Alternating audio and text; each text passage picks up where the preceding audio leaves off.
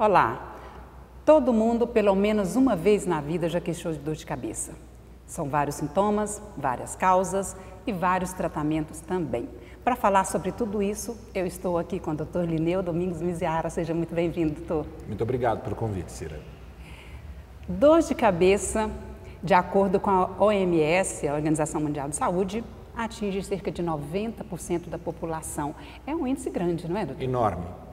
Até aqueles que defendem que quem nunca teve uma dor de cabeça na vida seria uma pessoa anormal. É claro que não, é uma pessoa sortuda.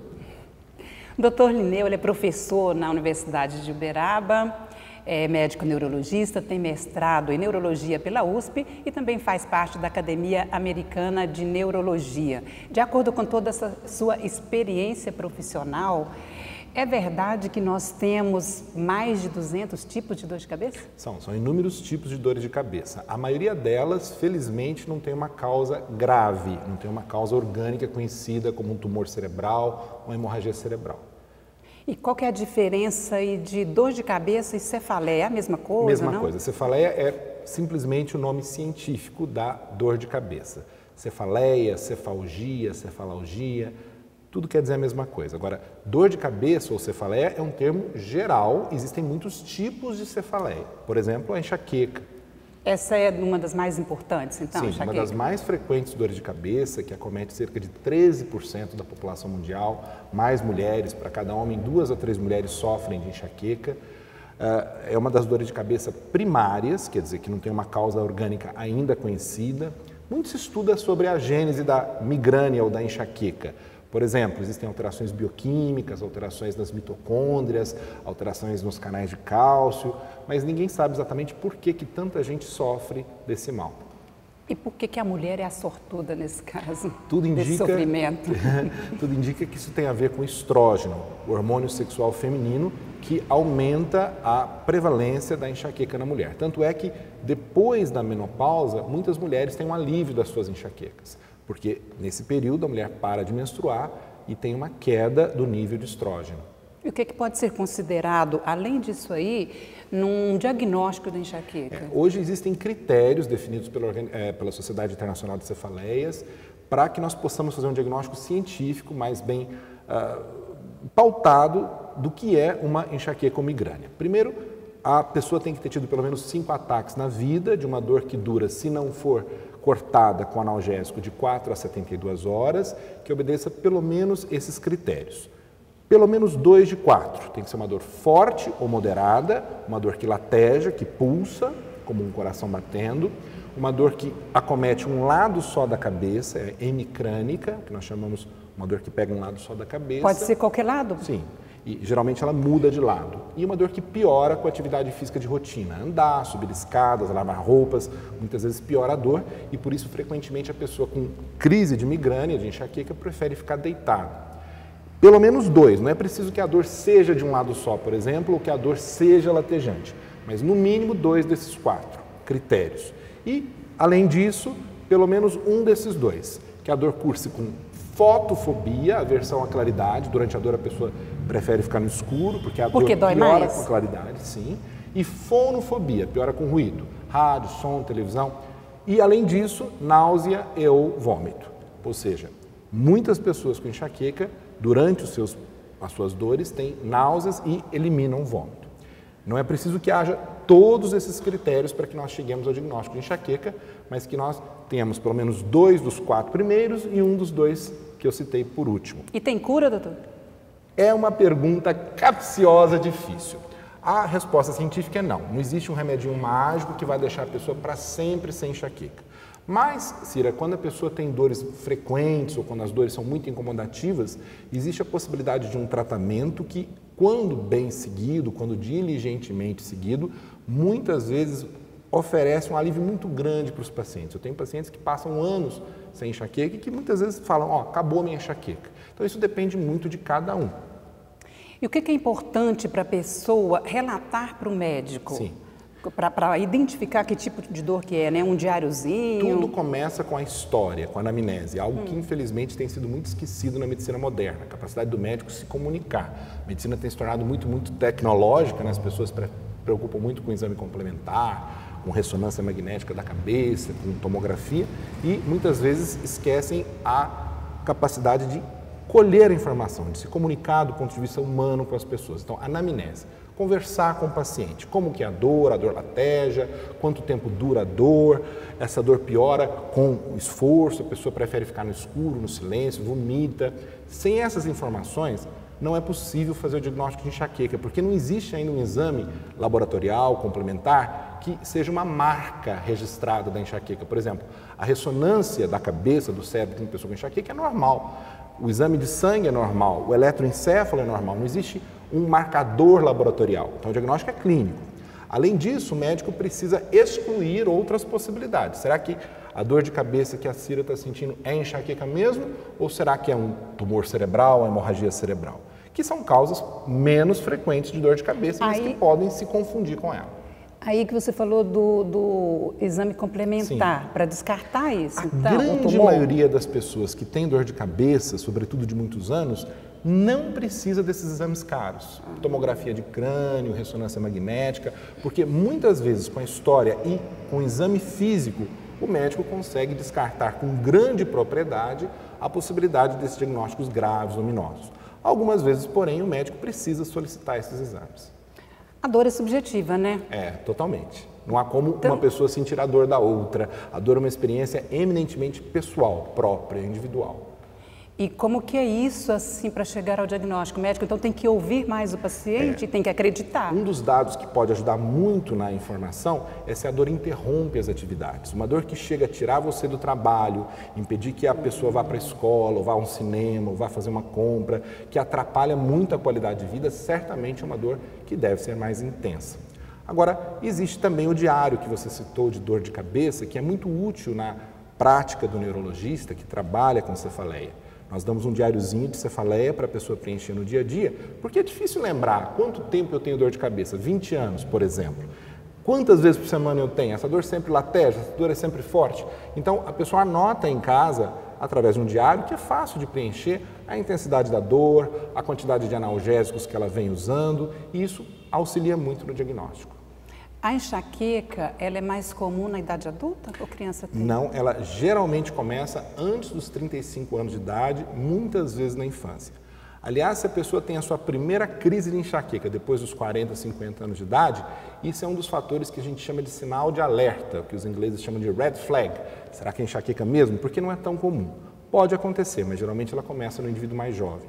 E muitas crianças padecem de enxaqueca.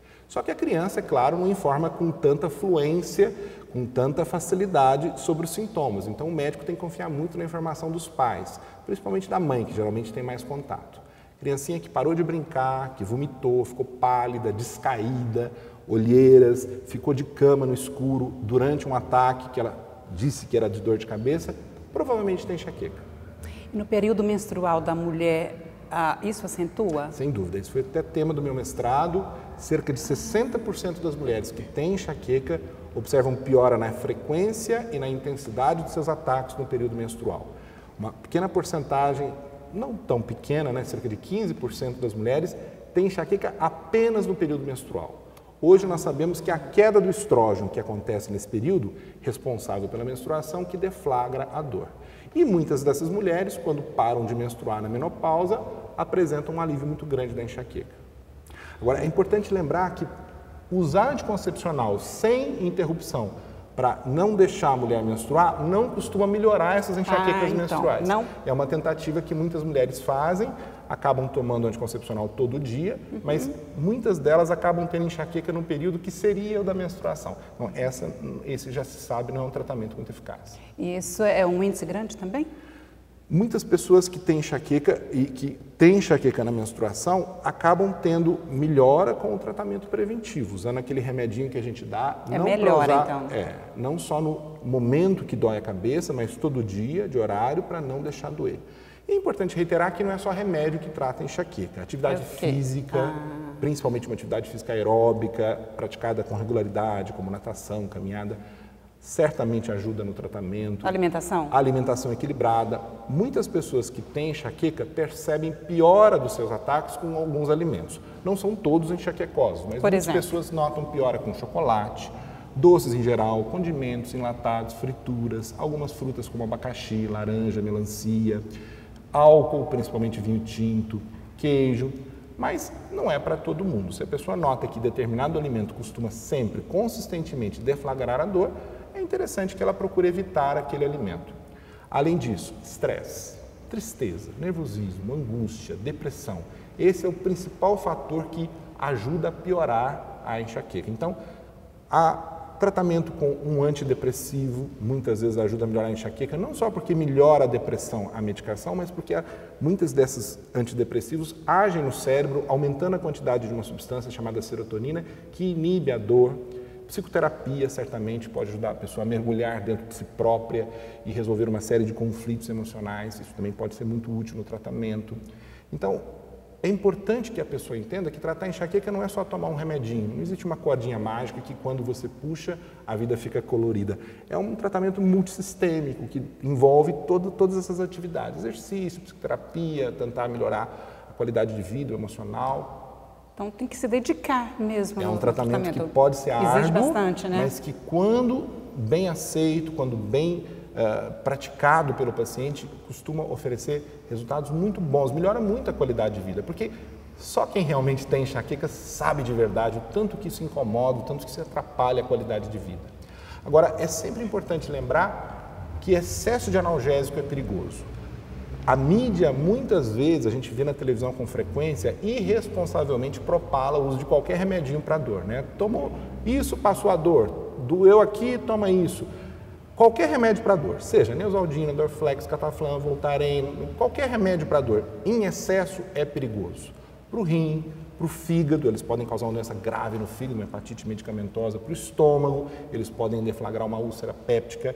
E muita gente não sabe, o excesso de analgésico, Cira, acaba por perpetuar a dor. A dor vai ficando mais resistente, mais constante, mais diária, mais Então o alívio resistente. é momentâneo. É, é um Mas analgésico, um remedinho para tomar quando dói é um quebra-galho, para uhum. você tomar naquele momento que você está sofrendo, tudo bem. Uhum. Mas quando o uso de analgésico se torna excessivo, isso é perigoso, sobretudo ao longo dos anos. Então, o tratamento adequado não é o remedinho que você toma quando dói uma vez ou outra, mas o tratamento deve ser feito com medicamento diário, com prescrição de um bom médico, de preferência um neurologista ou um clínico que tem experiência com cefaleia, para não deixar doer.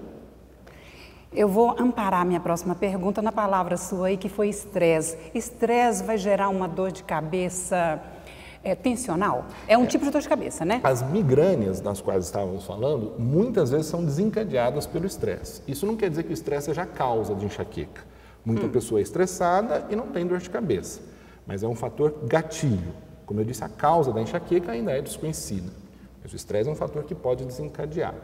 Existe um outro tipo de dor de cabeça, que não é enxaqueca, que é chamada de cefaleia tensional. Essa dor de cabeça hum, está muitas vezes ligada ao estresse, angústia, ansiedade. Não é como a enxaqueca. Na maioria das vezes é uma dor leve, moderada, geralmente ela não interrompe as atividades, a pessoa continua assistindo a uma aula e continua trabalhando com a dor. Essa dor geralmente é dos dois lados da cabeça, ela não costuma latejar, costuma ser um peso, ela não cursa com náusea, com Que é na região lateral da cabeça? muitas vezes é de um lado só, né? Tá. Muitas vezes a direita, a esquerda, a dor e que a, a gente chama de hemicrânica. A tensional geralmente é bilateral.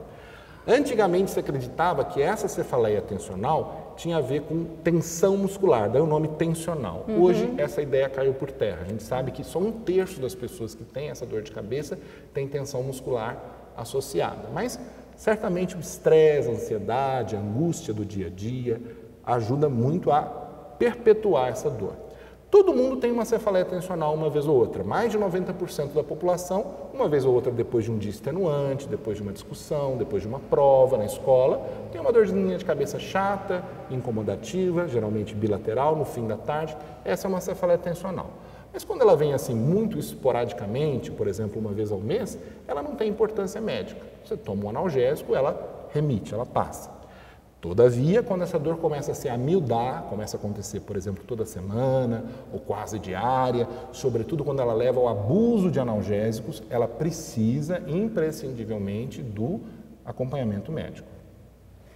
E a, a questão da dor que é frontal? Sim. Pode ser sinusite, pode ser mais o quê? É, esse é um ponto interessante. Sinusite, né, as rinossinusites, não são causa frequente de dor de cabeça, ao contrário do que as pessoas Não é? imaginam.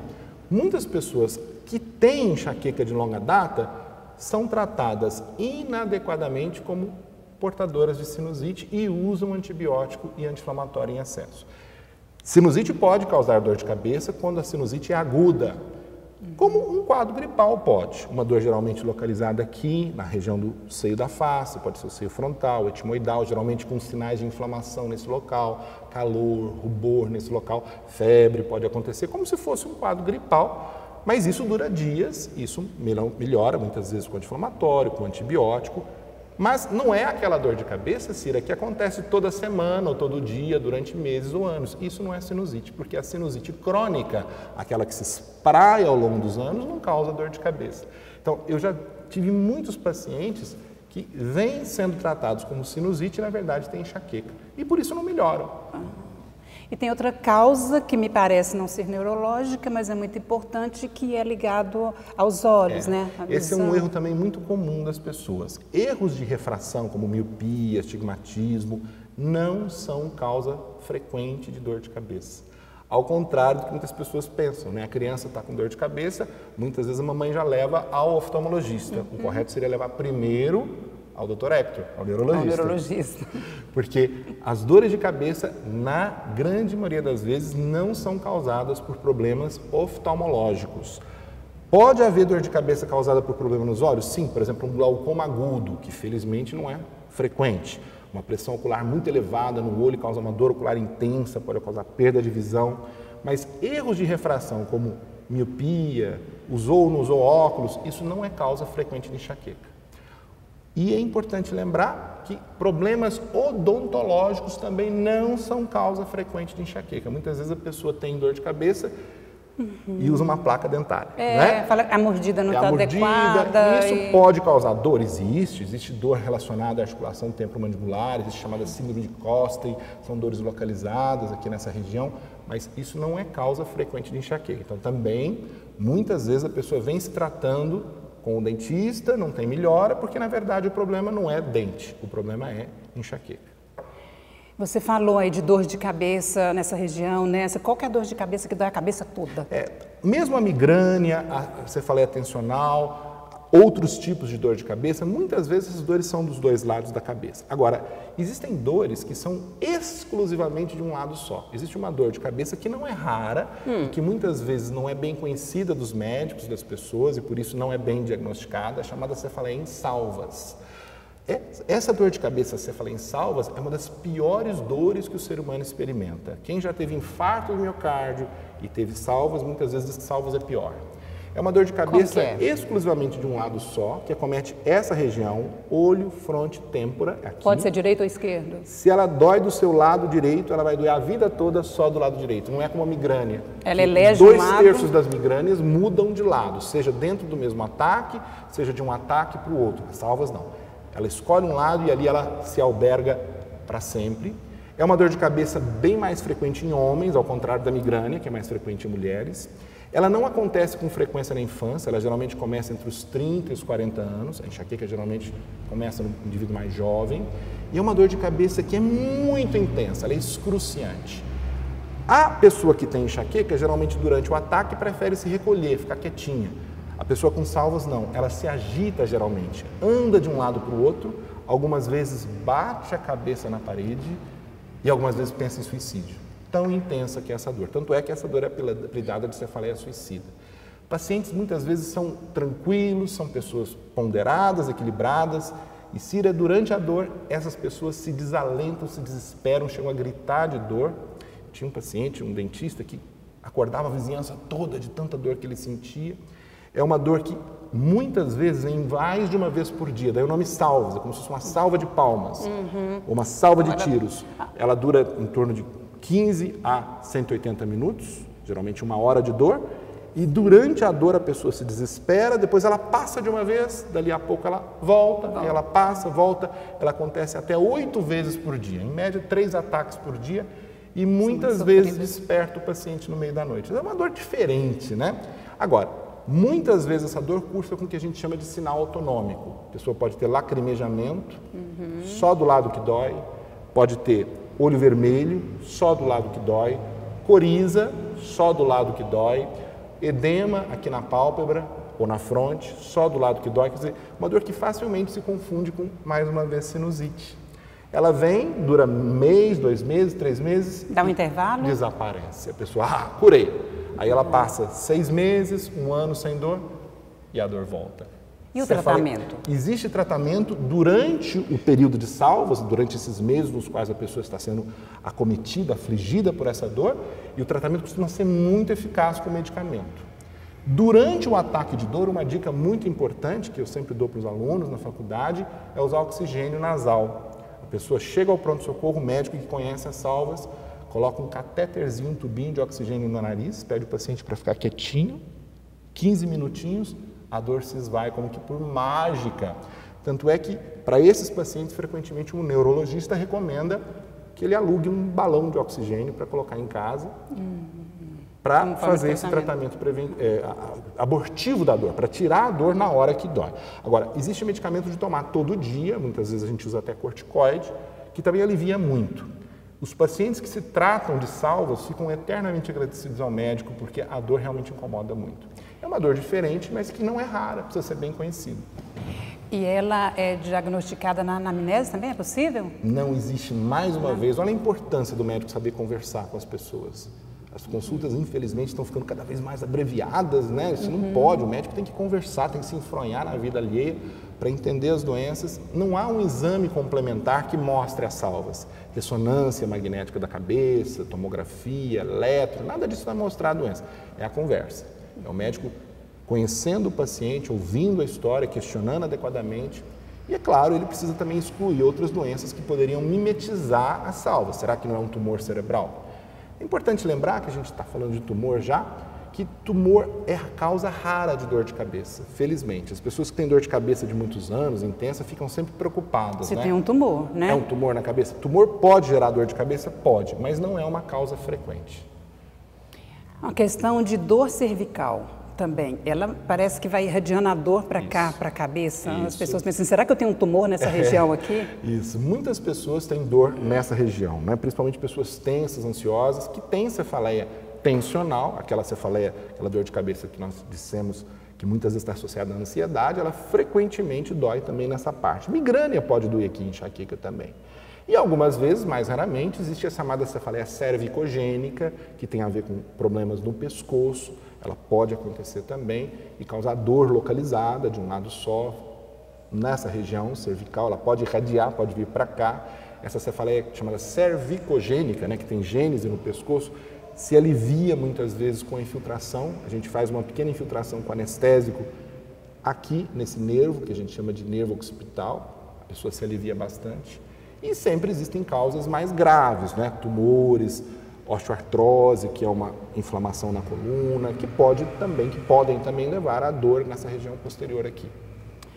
Me parece que é difícil descrever o tipo de dor, né? Tá doendo aqui, tá doendo aqui, ela é sem dúvida. Ela é assim, latejante é, ou ela. É... Como a dor é uma experiência individual, subjetiva, não há como eu sentir a dor para você, Traduzir a dor em palavras é frequentemente árduo, é caviloso. Como é que eu vou traduzir o que eu sinto? É, o paciente falar, não, dói aqui, é, dói ali. Uma forma que o médico tem hum. é dar exemplos do dia a dia. Por exemplo, a dor lateja como um coração batendo, fica mais fácil para a pessoa entender. Aperta assim, queima como um fogo. Então, usando essas metáforas do cotidiano, uhum. dá pontada que nem uma agulha entrando, fica muito mais fácil para o ah. paciente entender. Falar, não, é essa que eu Sim. sinto, né? É, e outra, qual que queima? É, por exemplo, a cefaleia tensional, a dor da ansiedade, muitas vezes queima, queima como um fogo. Ela costuma ser impressão, é uma dor constrictiva, mas às vezes é uma dor que a gente chama de urente, ela queima. Enxaqueca muito mais raramente queima, ela geralmente lateja, depende de cada pessoa também. E quando ela pode ser considerada uma doença grave? Sim, agora existem doenças graves, orgânicas, que levam a dor de cabeça. Uma que nunca pode ser esquecida por nenhum pantonista de pronto-socorro é a hemorragia cerebral, chamada hemorragia subaracnoideia, porque ocorre um sangramento, uma hemorragia, embaixo da chamada aracnoide, que é uma das membranas que reveste o encéfalo, uma das meninges. Em 85% das vezes, isso é causado, causado por uma ruptura de um vazio mal formado, que é um aneurisma cerebral. Todo mundo pode ter um aneurisma. Eu posso ter, você pode ter, e esse aneurisma frequentemente passa a vida toda despercebido, silencioso. A pessoa morre de outro motivo, morre de velhice, morre por uma outra doença e nunca se descobriu o aneurisma. Porém, um belo dia, desafortunadamente, esse aneurisma pode pup, explodir. E isso é um evento muito grave que pode levar à morte. Dói. Quando isso acontece, como o aneurisma sangra dentro do crânio, aumentando inopinadamente a pressão intracraniana, ocorre uma cefaleia, uma dor de cabeça muito intensa, geralmente considerada pelo paciente a pior de toda a vida, explosiva, tanto é que ela é chamada pelos americanos de thunderclap, relâmpago, porque ela é súbita, explosiva, geralmente com náuseas, com vômitos, rigidez de nuca, pode levar até a morte súbita, mas pode levar a uma dor de cabeça intensa e o paciente chegar a tempo ao pronto-socorro e ser adequadamente tratado. Então, vidas e vidas são salvas quando essa dor de cabeça é diagnosticada a tempo. Então, veja, chega uma pessoa num pronto-socorro, uma dor de cabeça muito intensa. Uma dúvida que sempre se impõe é: será que isso é uma enxaqueca uhum. ou será que é uma hemorragia cerebral, uma hemorragia subaracnoideia? E o médico tem algumas dicas que lhe ajudam muito a discernir se é uma coisa ou se é outra. Uma noite mal dormida dá dor de cabeça? Em pessoas que já têm dor de cabeça por outro motivo, por exemplo, elas têm migrânia, a privação do sono, sem dúvida nenhuma, frequentemente desencadeia a enxaqueca. E, paradoxalmente, dormir muito. Pessoa que tem enxaqueca e passa uma tarde de domingo, por exemplo, dormindo, dormindo algumas vezes também desencadeia enxaqueca. Acorda. Ah, desencadeia. Desencadeia. Não é que é a Isso. causa, mas é um fator que ajuda a pessoa que já tem a enxaqueca com certa frequência a apresentar a crise. Você falou aí de, de, dor que é nova, né? Que as pessoas têm que prestar atenção, tanto os profissionais quanto o próprio paciente. Você citou muito bem. Quando a pessoa sempre teve dor de cabeça, por exemplo, uma vez eu atendi uma professora que tinha dores de cabeça de longa data, uma migrânia, uma enxaqueca forte, latejava, piorava no período menstrual, mas naquele dia em especial no qual ela veio ao consultório e falou: Doutor Lineu, é a pior dor da vida, mudou. Na investigação, aquela dor não era a enxaqueca costumeira, era uma hemorragia subaracnoideia. Ela tinha um aneurisma que explodiu, ela foi operada, ela está bem, continua dando aula até hoje, porque o diagnóstico foi feito. Então, uma das dicas que devem salientar a necessidade de investigação é a seguinte: mudou a dor de cabeça? É uma dor pior do que as outras? Quando a dor é pior que as outras, muitas vezes é simplesmente mais um ataque de enxaqueca, mas o médico deve ficar alerta, porque pode ser uma doença nova. Você não pode acostumar com a dor, né? E achar que ela é sua parceira. Qualquer coisa, procura o médico. É, existem pacientes que entram no ciclo de dor crônica, né? O nosso querido Dr. Jaime Olavo fala muito disso, falava muito disso nas aulas, boas aulas que ele nos deu. As dores que vão se perpetuando ao longo da vida e levam a pessoa a acostumar com ela. E essas pessoas frequentemente tomam a dor, Cira, como motivo da sua própria vida. A dor passa a ser a mola propulsora da vida. E isso atrapalha muito no relacionamento com os amigos, com o cônjuge, com a cônjuge, atrapalha muito no amor às outras pessoas, atrapalha na produtividade do trabalho, porque a dor passa a ter um papel dominante na vida. Essas pessoas algumas vezes caem até em terapias que não são científicas, terapias que são muitas vezes charlatãs, são às vezes exploradas por outros profissionais, porque no desespero a pessoa quer de tudo para melhorar a dor. Não é a saída. A saída é procurar realmente um médico que tenha experiência com, no caso dor de cabeça, com cefaleia. Nós podemos contar aí com alguma novidade no tratamento de dor de cabeça? Muito se investiga o tratamento da migrânia, por exemplo, porque a migrânia é uma dor muito prevalente no mundo todo. Né? Existem medicamentos que ajudam a tratar preventivamente a dor, como nós conversamos, né? medicamento que você toma todo dia para aliviar a dor. Um dos medicamentos nos últimos anos que tem sido bastante eficaz é o topiramato, mas depende de cada paciente, né? depende de do perfil de cada paciente. O paciente obeso, medicamento que engorda, hum, talvez não seja tão adequado. O paciente tem, por exemplo, uh, asma, que é uma doença pulmonar, ele não pode usar um tipo de medicamento chamado propranolol. Isso o médico tem que conhecer o paciente como um todo. Né? O neurologista que está tratando a dor de cabeça tem que conhecer o paciente, se ele tem outras doenças, se ele tem asma, se ele teve, por exemplo, alguma alergia a algum medicamento, se ele é diabético, diabético, por exemplo, idealmente não devia usar o propranolol. É importante conhecer as pessoas globalmente, holisticamente, né, como se dizia na psicologia, né? holisticamente. E, além disso, é, outras novidades têm surgido, medicamentos que o paciente pode usar durante a dor, mas mais e mais se pesquisa. E a toxina botulínica? Toxina botulínica foi uma promessa que, infelizmente, não resultou tão eficaz. Na minha opinião e de muitos colegas, ela dá um certo alívio para certas pessoas, o tratamento, porém, tem um, um efeito que é transitório, geralmente a pessoa tem um alívio de três, quatro meses, mas que não é uma promessa tão eficaz. Sem falar que é um tratamento caro. Eu também já ouvi falar, até assim é meio polêmico, mas a questão de, de choques para é, dor de cabeça. Choque, Existe? eletrochoque, a chamada eletroconvulsoterapia, realmente uhum. não tem nenhuma finalidade terapêutica, não, não tem nenhuma eficácia, perdão, terapêutica para migrânia. A eletroconvulsoterapia é usada algumas vezes para depressão severa, choque não. O que se tem estudado é um novo tratamento que é a estimulação magnética transcraniana, que é feita em alguns centros, é um tratamento muito caro, uma novidade, e que tem mostrado algumas promessas na, na terapêutica da, da migrânia, sim. Através de ondas eletromagnéticas, quem sabe seja também mais uma ferramenta. Nós encerramos Nossa, o programa. Foi, foi muito rápido, foi muito bacana, muito dinâmico, né? Trouxe muita informação. Muito obrigada por você estar aqui, tá? Eu agradeço imensamente o convite, foi um, um prazer. Ah, estou super, super feliz também com isso. É, muito obrigada por sua companhia. Eu entrevistei o Dr. Lineu Domingos Meziara, médico neurologista, professor do curso de medicina na Universidade de Uberaba. Também tem mestrado na USP em neurologia. Nós falamos sobre dor de cabeça. Muito obrigada pela sua companhia. Até breve.